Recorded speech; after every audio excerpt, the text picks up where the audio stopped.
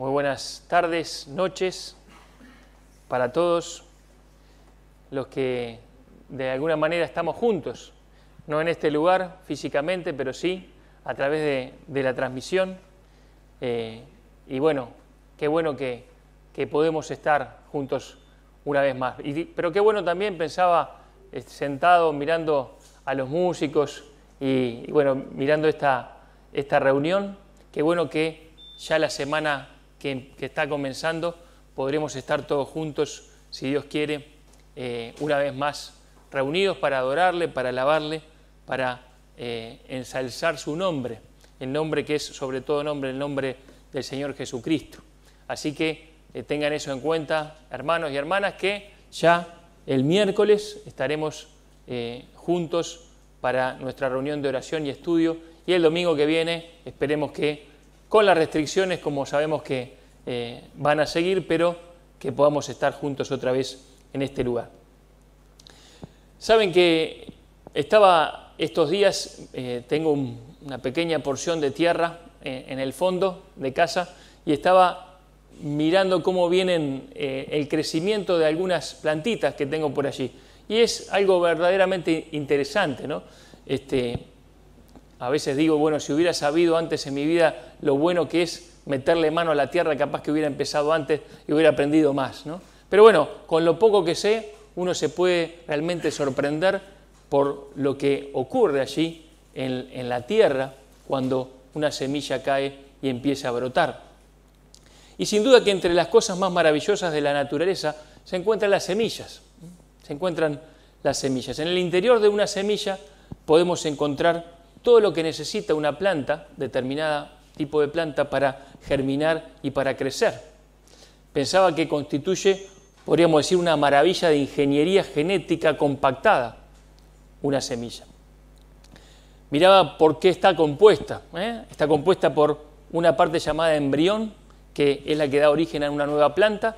Después la mayoría de las semillas tienen cotiledones, que es donde va empaquetado el alimento del cual se, se nutre ese embrión, ese embrión, y alrededor algo que se llama tegumento o cubierta que protege el interior, ese valioso interior de la semilla.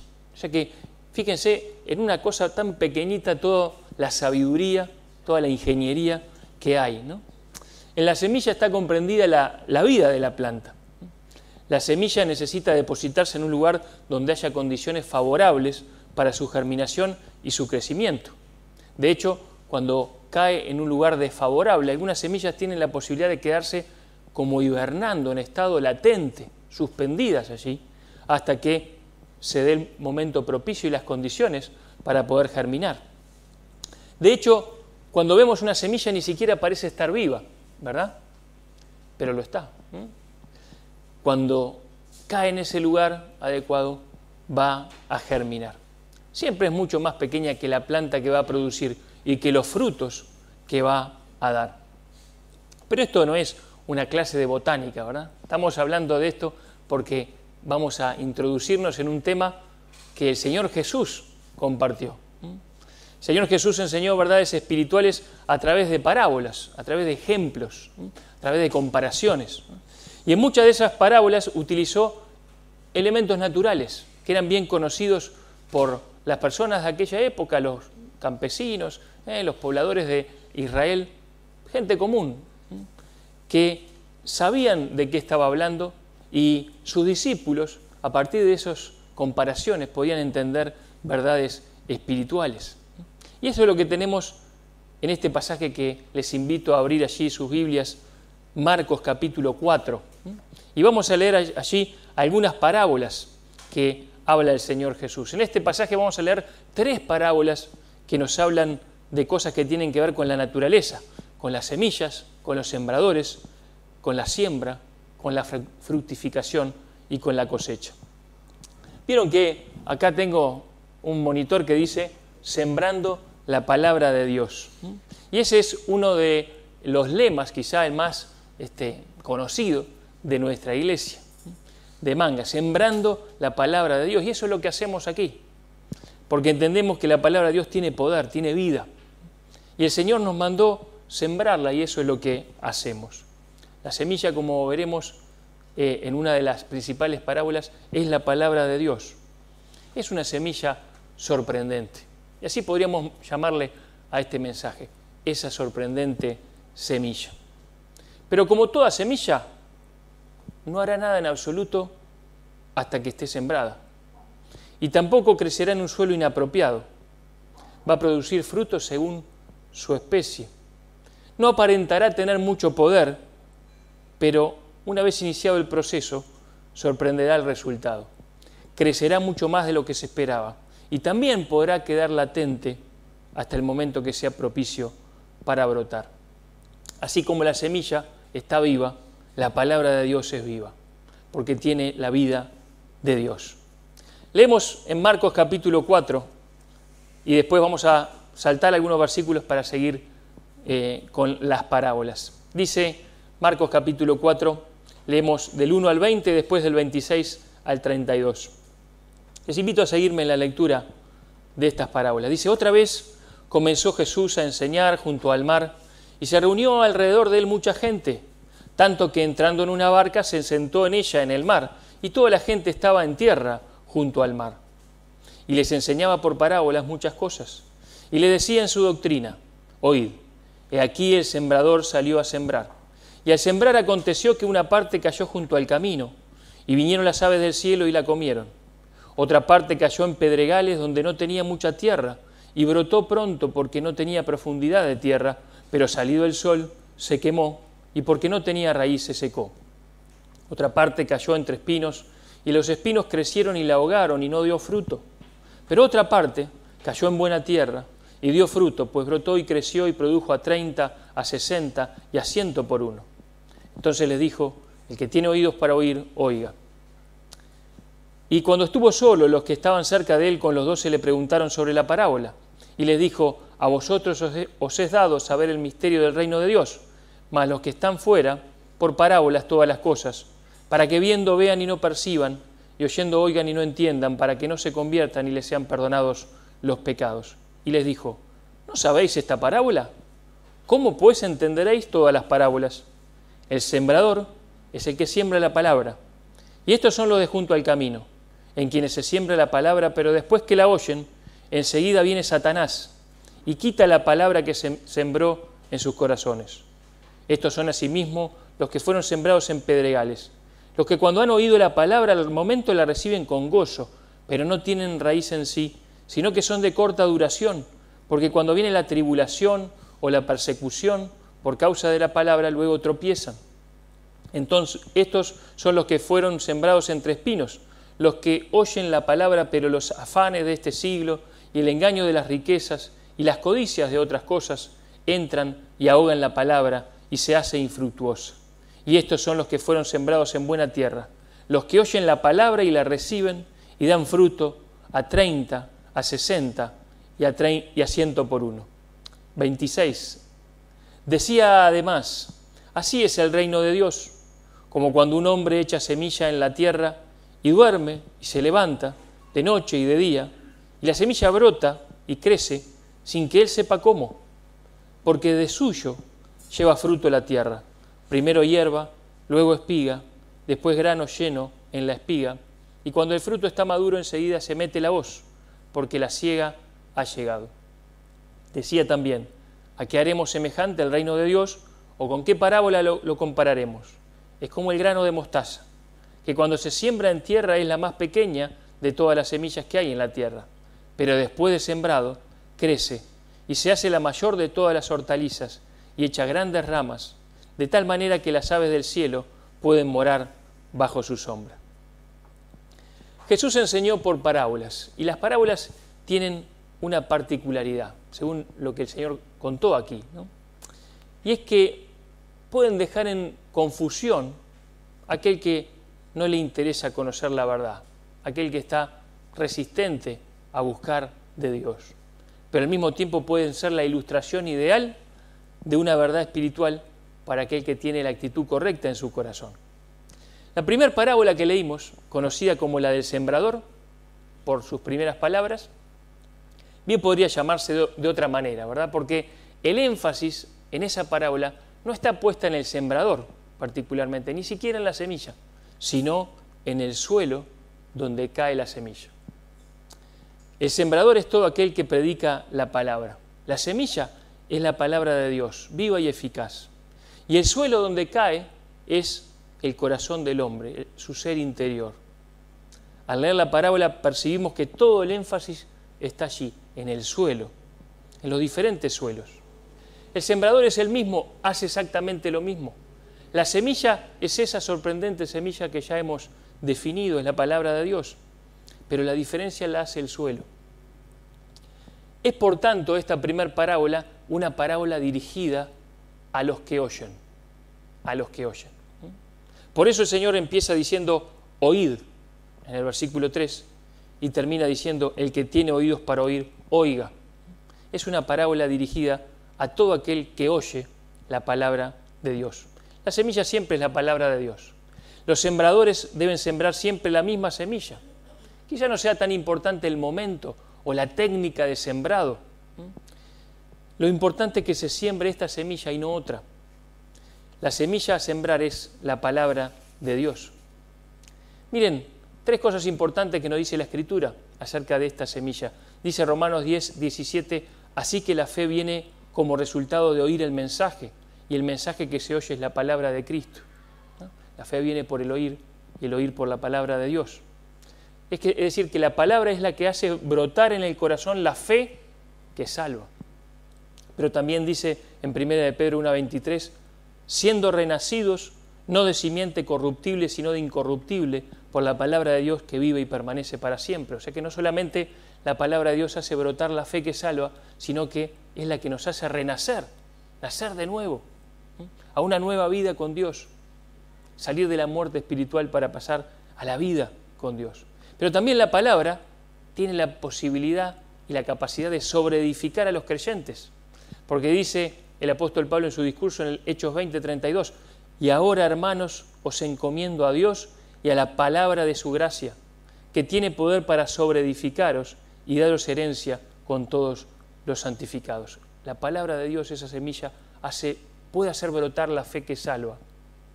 Esa semilla puede hacer renacer a la persona y puede sobreedificar a la persona. Tremendo lo que puede hacer esa semilla. No hemos de dejar de sembrar la palabra. Sin duda tenemos que sembrarla incesantemente. Pero sí debemos saber que el efecto de esa palabra sembrada dependerá del suelo donde caiga. Y de eso se trata esta, esta parábola primera. El destino de esa semilla, los efectos que produzca, dependerán del suelo. La diferencia está en el suelo, donde cae, en el corazón.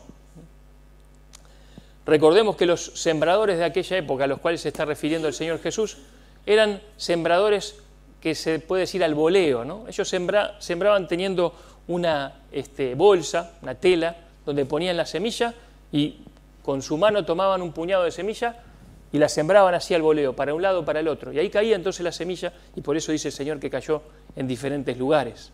En ese tipo de sembrador estaba pensando el Señor. Y veremos los cuatro ejemplos de suelo que corresponden a cuatro actitudes distintas del corazón. Primero, los de junto al camino. Los de junto al camino, ¿quiénes son? La semilla que cae junto al camino cae en una tierra endurecida. ¿Vieron como cuando uno pisa un camino de tierra? Esa tierra está apisonada, endurecida, está impermeable, impenetrable. No puede entrar la semilla, no es recibida por esa tierra. Y así son los de junto al camino. Una tierra que no recibe la semilla. Son los que oyen y no entienden. Tampoco se interesan por entender. Entonces, Satanás viene y arrebata lo que fue sembrado. Cuando una persona escucha el Evangelio y no entiende, cuando se muestra indiferente a la palabra, no está interesado en conocer la verdad acerca de la salvación, la obra del enemigo se encargará de eliminar esa semilla sembrada para que no brote. Porque cada vez que es predicada la palabra de Dios, hay una lucha espiritual. El enemigo está activo para que esa poderosa semilla no brote. No quiere que brote. Todo su esfuerzo está en que los hombres no entiendan la palabra. que no entiendan de su pecado, que no entiendan la santidad de Dios, su justicia, su ira, que no entiendan del amor de Dios expresado en el Calvario, que no entiendan del sacrificio de Cristo, de la tumba vacía, que no entiendan de su necesidad urgente de salvación. Dice 2 Corintios 4, 3 y 4, pero si nuestro Evangelio está aún encubierto, entre los que se pierden está encubierto, en los cuales el Dios de este siglo, el diablo, Satanás, cegó el entendimiento de los incrédulos para que no le resplandezca la luz del Evangelio de la gloria de Cristo, el cual es la imagen de Dios. O sea que aquella persona que escucha la palabra del Evangelio, pero permanece indiferente, impermeable, sin entendimiento, se expone a la obra enseguecedora del enemigo. Esos son los sembrados junto al camino. Pero después están los que caen sobre pedregales. La semilla a veces cae sobre pedregales, donde hay poca profundidad de tierra. Ustedes van a ver que el Señor va progresando en la profundidad de tierra, podríamos decir. Porque la primera cae y ni siquiera hay nada, o sea, hay una tierra pisonada que no, ni siquiera la recibe. Pero la segunda tiene poca profundidad. Ya la tercera ya brota, pero es ahogada. Y la cuarta es la que puede desarrollarse. Pero acá dice sobre pedregales, hay poca profundidad de tierra. Son aquellas personas, corazones superficiales. Se gozan con la palabra, la reciben con gozo, se entusiasman con ella, la valoran, entienden lo hermoso de la palabra de Dios. Pero después sigue pasando el tiempo y vienen los problemas, tribulaciones, dice acá el Señor, por causa de la palabra, la persecución por causa de la palabra, por causa de identificarse con el Señor. Y tropiezan. Son gente que se ha entusiasmado con los beneficios, pero no está dispuesta a pagar el precio. El creer en la palabra de Dios parece un buen accesorio para mi vida, ¿eh? siempre que no complique demasiado mis intereses y mis objetivos, que yo no quede excluido de mi grupo, que yo eh, no tenga que sufrir por identificarme con esto. ¿Cuántas personas pasan por las iglesias, escuchan el Evangelio, se entusiasman, disfrutan de la comunión, del buen ambiente eclesiástico, pero cuando los problemas llegan, cuando las persecuciones llegan, se apartan para nunca más regresar? ¿Qué pasó? ¿Qué faltó? Ha pasado que eran superficiales, emocionales. Su compromiso era en pos de un beneficio personal, pero no estaban dispuestos a sufrir. No, incluía el sufrimiento por causa de la verdad. Pudo más la tensión con la familia, pudo más la exclusión de los amigos, pudo más las burlas de los compañeros de trabajo. Demasiado precio. No estoy dispuesto a pagarlo. No era todo color de rosa como yo pensé. No se solucionaban todos los problemas como me había imaginado. ¿Qué faltó? Faltó profundidad. Era todo superficial, incluso la fe y la decisión que había tomado. Es decir, que el gozarse inicialmente por recibir la palabra de Dios no quiere decir mucha cosa. Hay que esperar que dé fruto. Esos son los sembrados eh, en pedregales. Pero después dice, entre espinos. ¿eh? Y la semilla cae también en corazones que son como entre espinos.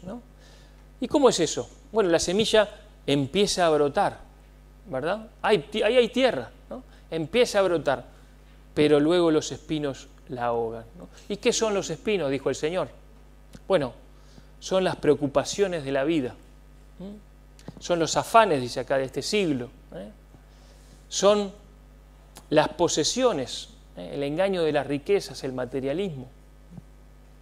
Son, dice acá, codicias de otras cosas. Nos dice en el pasaje paralelo de Lucas 8:14 que son también los placeres, ¿eh? preocupaciones, posesiones y placeres. ¿eh?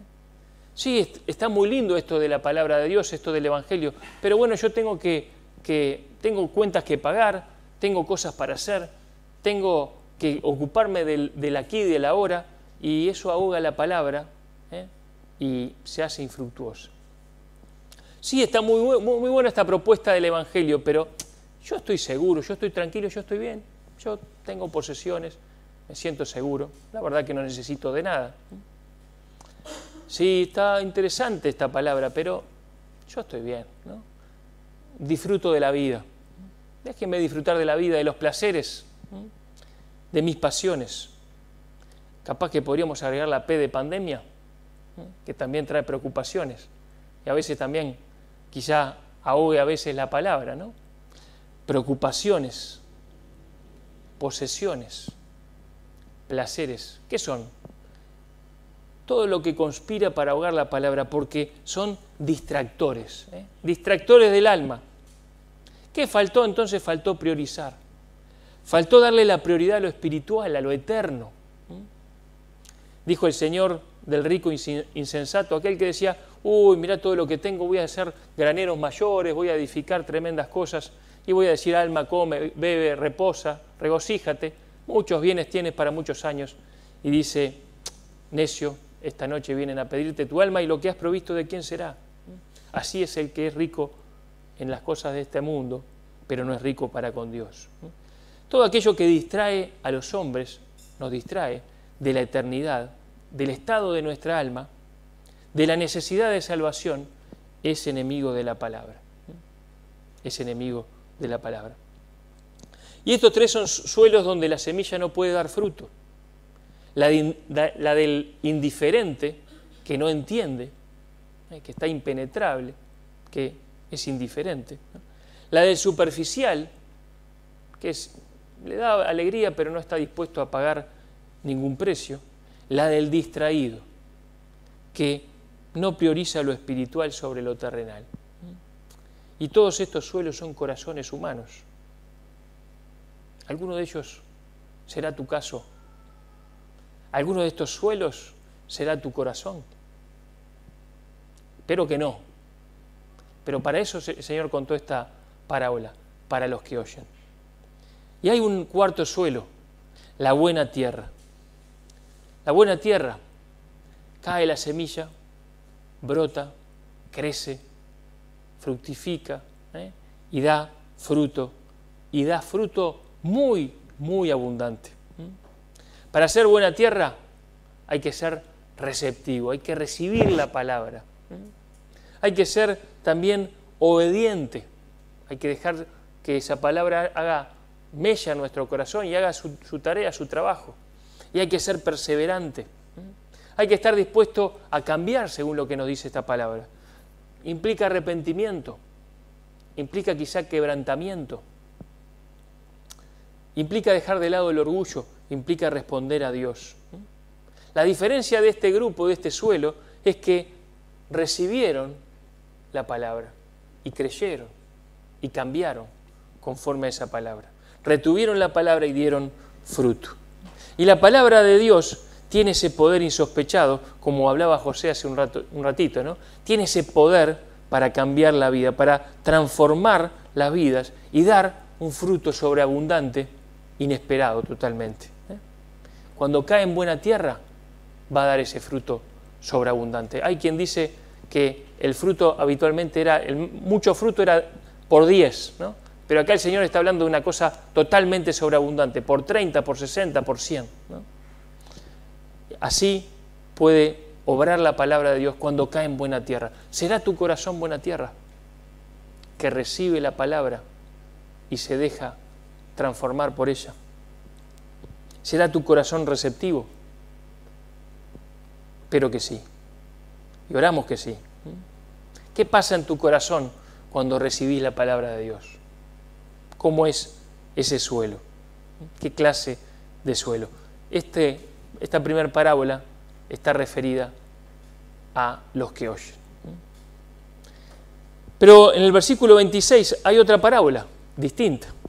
A partir de allí dice que el reino de Dios es como cuando un hombre echa semilla en la tierra dice que duerme, se levanta, va, viene, y la semilla brota, crece sin, sin que él sepa cómo, porque de suyo lleva fruto la tierra. Y esta parábola podríamos decir que está dirigida al, que siembra, al que siembra. La otra era dirigida al que oye. Acá está dirigida al que siembra. Y el que siembra, queridos, es todo creyente. Si bien hay una responsabilidad especial en los que son ministros de la palabra, sin duda, pero el que siembra tiene que ser todo creyente, porque dice la Escritura que cada cristiano ha sido llamado por Dios a anunciar las virtudes de aquel que nos llamó de las tinieblas a su luz admirable. Todos los creyentes estamos llamados a sembrar. Esta parábola explica cómo es el reino de Dios y nos hace pensar que nuestra tarea es sembrar y sembrar y seguir sembrando. Y que no debemos afanarnos por los resultados, ni tampoco por los tiempos. Hemos de ser pacientes como labradores. Mire lo que dice Santiago 5, 7. Dice, por tanto, hermanos, tened paciencia hasta la venida del Señor. Mirad cómo el labrador espera el precioso fruto de la tierra, aguardando con paciencia hasta que reciba la lluvia temprana y la tardía. Paciencia, aguarda con paciencia. Segunda de Timoteo 2.6, el labrador para participar de los frutos debe trabajar primero. Lo primero es trabajar, lo primero es sembrar. Pero luego hay que aguardar con paciencia. Y después seguir aguardando con paciencia y seguir sembrando. No pretendamos sembrar y ver el fruto inmediatamente. A nadie se le ocurriría hacer eso, ¿verdad? Sembrar algo en la tierra y al otro día ya ir preparado para cosechar. Sería una, locura, una bobada, ¿no? Porque no funciona así. Y nosotros tenemos que saber que en el mundo espiritual y en el reino de Dios también es de la misma manera. Uno tiene que sembrar y tiene que saber que eh, tiene que esperar, que tiene que ser paciente y tiene que ser perseverante porque esa semilla va a dar fruto en algún momento. Pero también debemos considerar, a partir de esta parábola, que hay procesos espirituales que nosotros no conocemos en los corazones de los hombres, que son ajenos a nosotros. Por eso dice acá que la semilla brota y crece sin que él sepa, sepa cómo, ¿no? No, conoce el labrador los procesos que se están dando allí. Puede tener una idea, ¿no? pero no conoce lo que está pasando. Dice el apóstol, yo planté, Apolo regó, pero el crecimiento lo ha dado Dios. Así que ni el que planta es algo, ni el que riega, sino Dios que da el crecimiento. Dios da el crecimiento. Dios tiene un obrar invisible dentro de los corazones, a través de su espíritu, que gracias a Dios no depende de nosotros. Y nosotros no estamos llamados a hacer otra cosa que no sea sembrar la palabra. No debemos aplicar técnicas modernas de marketing, ¿no? de mercadeo. Bueno, acá tenemos que poner mejor música, tenemos que poner luces, ¿no? tenemos que hacer que todo parezca más parecido al mundo para que la gente se sienta a gusto. No, hermano, eso no va a funcionar. Eso no va a funcionar. No es una organización humana, es el reino de Dios. Dios da el crecimiento y vos tenés que sembrar. Ya está. Tenés que esperar, tenés que ser paciente, tenés que seguir sembrando. Y Dios da el crecimiento. Y Dios da el crecimiento. ¿Cuántas veces ha ocurrido? Capaz que alguno se acuerda de alguna oportunidad. ¿Cuántas veces ha ocurrido que una persona escucha lo que alguien está predicando y dice, pero ¿y este, este cómo sabía lo que me pasaba a mí? ¿Este cómo sabía lo que yo estaba pensando, lo que a mí yo estaba viviendo? Y no era que el que predicaba sabía ninguna cosa. Es la palabra de Dios, es el Espíritu Santo de Dios obrando en la persona. No fue el predicador, fue el Espíritu Santo. Y Dios, cuando hacemos nuestra tarea, va añadiendo cada día a los que han de ser salvos. Dios está orando, Dios se está moviendo en las vidas, en los corazones. No sabemos cómo, porque es una obra de Él, pero nosotros tenemos que seguir haciendo nuestra parte, tenemos que seguir sembrando. La hoz ¿eh? no nos compete a nosotros, eso ocurrirá al fin de los tiempos, pero lo que sí estamos seguros es que el Señor va a cosechar abundante fruto, así que sigamos sembrando. Y finalmente llegamos a la última parábola. Y esta parábola es un poquito diferente, porque la semilla, en este caso, no es la palabra de Dios, sino que la semilla, en este caso, es el reino de Dios, es un ejemplo del reino de Dios. El Señor Jesús dice, ¿a qué haremos semejante el reino de Dios o con qué parábola lo compararemos? Como el grano de mostaza, dice el Señor. En aquella tierra, en aquella región de Israel, el grano de mostaza es el más pequeñito, la más pequeñita semilla. Pero cuando uno la pone a crecer, como dice acá el Señor, luego echa grandes ramas, es la mayor de todas las hortalizas, de tal manera que las aves del cielo pueden morar bajo su sombra. Y si la primera parábola era para los que oyen y la segunda parábola era para los que siembran, esta parábola es para todos. Tanto para los que están a favor como los que están en contra. Tanto para los que recogen como para los que desparraman. ¿Mm? Porque lo que está hablando el Señor acá era lo que iba a ocurrir. Es una parábola y una profecía a la vez. Lo que iba a ocurrir con la obra de Dios, con el reino de Dios, con lo que venía pasando allí, en ese mismo momento que el Señor predicó esta palabra. Una obra de apariencia humilde, poco relevante, ¿eh? que después se iba a transformar en algo colosalmente grande. Dice Natanael cuando le hablaron de Jesús, dice, ¿y de, Nazaret puede venir algo de bueno? Todo era menosprecio. Bueno, ven y ve, le dijo, y después fue y vio. Un humilde carpintero, predicador itinerante de Palestina, con un puñado de locos desalineados que creen en Él y que le siguen, ¿qué pueden lograr? No tienen poder, no tienen ejército, no tienen recursos, una semillita de mostaza. Mire lo que dijo Napoleón, Napoleón Bonaparte, ¿no? Hay una cita del final de su vida que dice así, conozco a los hombres y puedo decirles que Jesucristo no es meramente un hombre, todo lo referente a Cristo me asombra. Entre Él y cualquier otro personaje de la historia del mundo no hay un solo término posible de comparación. Ciertamente Alejandro, César, Carlomagno, yo, hemos fundado imperios. Pero ¿sobre qué descansan las creaciones de nuestro genio? Sobre la fuerza. Sin embargo, Jesucristo fundó un imperio sobre el amor y estoy seguro que aún en esta misma hora millones de personas de todas clases sociales y edades voluntaria y gustosamente darían su vida hasta la muerte por Él el día de hoy. Solamente Cristo ha llegado a tener, a tener tal éxito ante las barreras del tiempo y del espacio, a través del intervalo abismal de 1800 años. Este fenómeno es indescriptible, pues está más allá de la comprensión del hombre. El tiempo, que es el gran destructor, no puede, no ha podido, ni podrá agotar su fuerza, ni tampoco poner un límite a su alcance un hombre muy relevante, importante en la historia, pero que se dio cuenta de qué era esa semillita de mostaza. ¿Cómo puede ser que un hombre que enseña con su voz, sin ningún otro recurso, en las calles polvorientas de Jerusalén, llegue a algo? Parece que no va a llegar a nada eso. Y así podía verse el cristianismo en aquella época.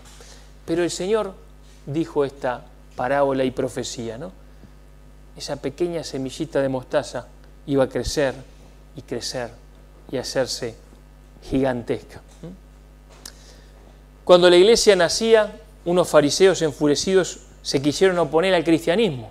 ¿Se acuerdan? Allí en Hechos, capítulo 5.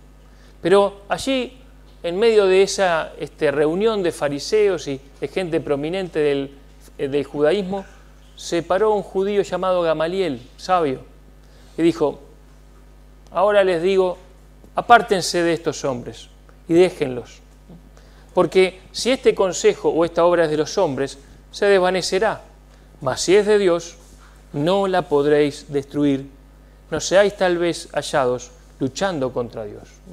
Qué sabio, ¿no? Así fue. Aquel carpintero de Nazaret no era solamente un carpintero itinerante y predicador, era el Señor, era Dios hecho hombre. Y sabía lo que estaba sembrando y su semilla crecería y crecería y no ha hecho más que crecer en estos últimos dos mil años. Y no hará más que crecer hasta la ciega. Un reino estaba siendo sembrado con alcances insospechados. Y aquellos que lo menospreciaban iban a ser sorprendidos por el crecimiento de esa semillita de mostaza. Termino leyéndoles un escrito que dice autor desconocido, pero que algunos lo van a reconocer porque por ahí este, eh, quizá alguno lo ha compartido alguna vez. Se llama Cristo Incomparable y dice así. Hace más de dos mil años existió un hombre que nació contrario a las leyes naturales de la vida. Este hombre vivió en la pobreza y fue criado en oscuridad. No viajó extensamente. Solamente una vez cruzó las fronteras del país en que vivía y eso fue cuando siendo niño estuvo un tiempo exiliado. No poseía ni influencia ni dinero. Sus familiares no eran prominentes y carecían de todo entrenamiento o educación formal. Durante su infancia atemorizó a un rey. Durante su niñez impresionó a los doctores de la ley. Ya siendo hombre, dominó la naturaleza, caminó sobre las olas como si fuese el suelo y silenció los vientos y la mar. Sanó a las multitudes sin medicina y no cobró por sus servicios. Nunca escribió un libro. Sin embargo, los libros que se han escrito sobre él podrían llenar bibliotecas enormes. Nunca escribió una canción. Sin embargo, ha provisto tema para más canciones que los que han producido todos los compositores juntos. Nunca fundó una universidad, pero todas las universidades y escuelas juntas no tienen más discípulos que él. Nunca dirigió un ejército, o enlistó un soldado, o disparó un arma de fuego, y sin embargo, ningún líder ha tenido más voluntarios bajo sus órdenes que hayan hecho que tantos rebeldes entreguen sus armas y se rindan sin disparar un solo tiro. Nunca practicó la medicina, pero ha sanado mayor número de corazones quebrantados que todos los doctores puestos juntos. Cada primer día la actividad humana cesa y las multitudes van a adorarle.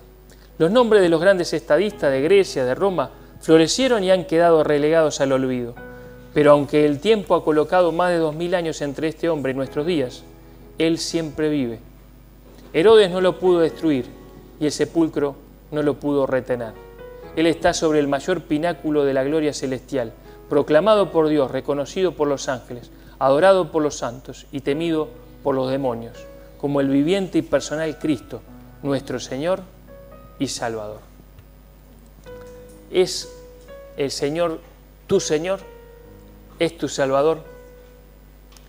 Si no lo es, hoy es el día de salvación. Cree en Él, arrepiéntete de tus pecados. Él hizo esa obra perfecta en la cruz, murió por tus pecados y resucitó al tercer día. Él te perdonará y te hará parte de este su reino. El Señor plantó esa semilla de mostaza.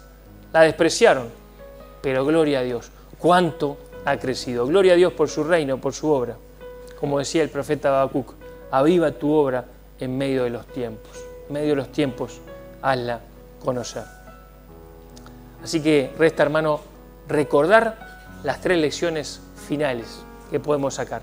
Primero, sé buena tierra para que la semilla caiga en tu corazón y dé fruto sobreabundante.